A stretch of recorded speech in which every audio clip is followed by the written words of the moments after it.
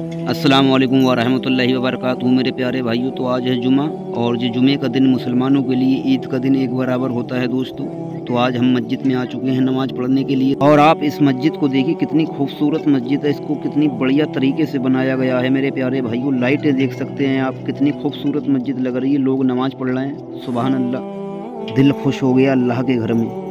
अब नमाज़ तो पढ़ चुके हैं मेरे प्यारे भाइयों, अब चलते हैं मजार की तरफ़। हाँ सलाम पढ़ेंगे जाके और दुआ करेंगे। कुछ लोग हमें मांगते हुए मिल जाते हैं मस्जिद के बाहर तो हम इनको कुछ देते हैं। दोस्तों, इनकी मदद करते हैं। और ऐसे लोगों की आप भी मदद किया करें मेरे प्यारे भाइयों, जो भी आपसे बन सके, उनको दिया करो। आप किसी गरीब की मदद करोगे, अल्लाह आपकी मदद करेगा बेशक। अब इधर तो होली है मेरे प्यारे भाइयों, अब चलते हैं मजार पर और दुआ करेंगे, सलाम पढ़ेंगे।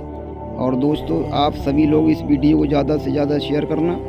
और इन वली से आप भी दुआ करें, अपने घर वालों के लिए परिवार वालों के लिए, बच्चों के लिए। इन आपकी हर दुआ कबूल होगी। इस वीडियो को ज़्यादा से ज़्यादा शेयर करना और चैनल पे नए हो तो चैनल को सब्सक्राइब ज़रूर कर लेना, मेरे प्यारे भाइयों। और एक बात आपको और बताता हूँ, कुछ लोग मज़ार को सजदा करते हैं। ये सजदा करना हराम है दोस्तों। खाली आप चादर को छू सकते हो, दुआ कर सकते हो। सजदा सिर्फ़ अल्लाह के आगे होता है। इस वीडियो में मैंने देखा है, एक आदमी को जो सजदा करता है मज़ार को ये गलत है मेरे प्यारे भाइयों, और इस वीडियो को ज़्यादा से ज़्यादा शेयर करो।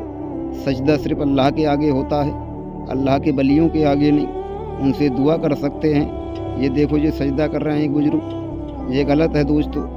आप इन बुज़ुर्ग के बारे में क्या कहेंगे, कमेंट करके ज़रूर बताना। सजदा सिर्फ़ अल्लाह का होता है, अल्लाह के बलियों का नहीं। और दुआ कीजिए आप इन बलियों से, अपने घर परिवार वालों के लिए दोस्तों मेरे। अब हम चलते हैं, हम चादर छूते हैं, चूमते हैं। और दुआ करते हैं, गुलाब के फूल लेते हैं और घर की तरफ़ रवाना होते हैं। अब चलते हैं घर की तरफ़। अस्सलाम वालेकुम या वली अल्लाह। दोस्तों, अगर ये वीडियो आपको अच्छी लगी हो तो लाइक करना, शेयर करना। चैनल पे नया हो तो सब्सक्राइब ज़रूर करना।